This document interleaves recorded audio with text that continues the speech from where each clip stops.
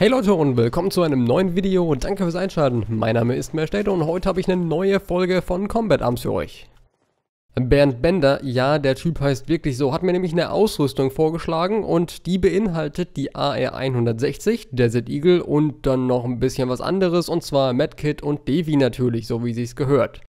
Die Ausrüstung fand ich jetzt ganz cool, einfach aus dem Grund, weil ich die AR 160 selber gerne spiele und sie fast schon ein bisschen unterschätzt finde. Das heißt, irgendwie sehe ich sie nicht so oft auf dem Battlefield.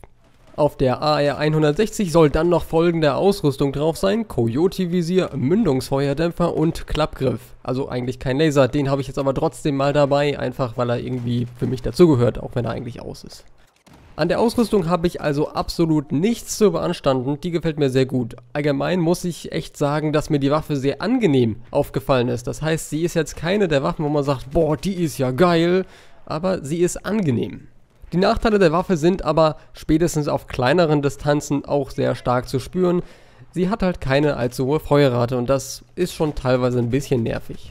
Allgemein hat es dann aber sehr viel Spaß gemacht, auf mittleren Distanzen damit unterwegs zu sein, denn da glänzt die Waffe enorm.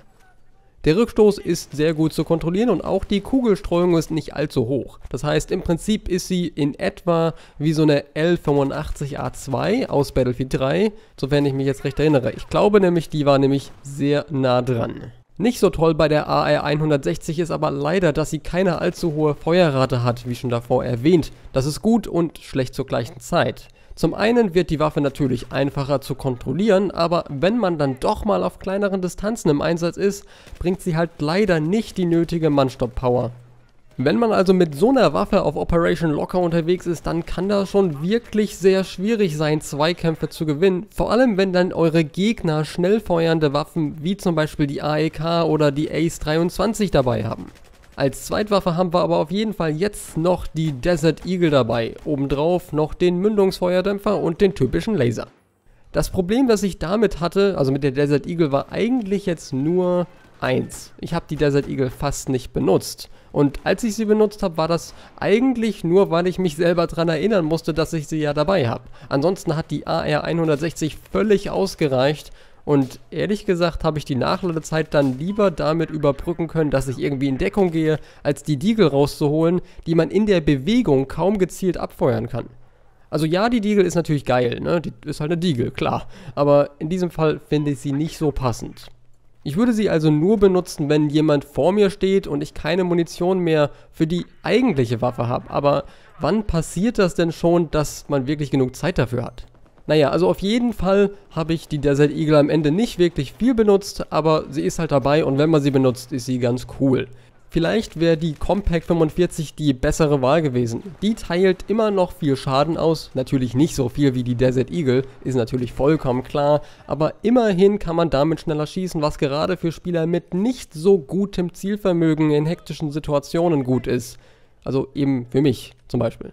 Die Compact 45 würde ich aber auch noch aus einem anderen Grund bevorzugen. Und zwar, weil ich immer gerne versuche, Ausrüstungen irgendwie gleichermaßen auszubalancieren. Also so, dass sie gleichermaßen gut auf kleineren und größeren Distanzen sind. Mit der AR 160 hat man jetzt ja also schon generell gesagt eine Waffe, die auf längeren Distanzen besser als auf kürzeren ist. Warum sollte ich jetzt also nochmal eine Waffe nehmen, die auf kürzeren Distanzen ihre Schwächen hat, so wie eben die Desert Eagle mit ihrer recht hohen Streuung, wenn man in Bewegung schießt? Natürlich kommt das jetzt ganz auf den Spieler an, der hinter der Desert Eagle steht, aber für mich hat sie auf kleineren Distanzen einfach nicht den Reiz, weil ich erstens nicht immer so gut in hektischen Situationen ziele und zweitens die Streuung in der Bewegung dann bei manchen Treffern, die ich eigentlich vielleicht sogar gelandet hätte, dazwischen kommt und das Ganze zunichte macht. Im Grunde hat mir die Ausrüstung aber schon wirklich viel Spaß gemacht, einfach weil die AR 160 eben dabei ist. Wer sich damit nicht immer direkt ins Getümmel wirft, sondern auch mal ein bisschen weiter wegstehen möchte, der kann auch auf ein bisschen längeren Distanzen, also verglichen zu vielen anderen Waffen eben, gut Schaden raushauen.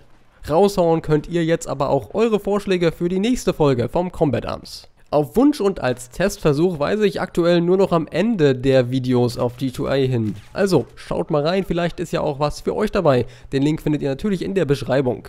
Wenn in diesem Video auch was für euch dabei gewesen ist, dann würde ich mich sehr über einen Daumen nach oben und ein Abo von euch freuen. Danke fürs Zuschauen und bis zum nächsten Mal.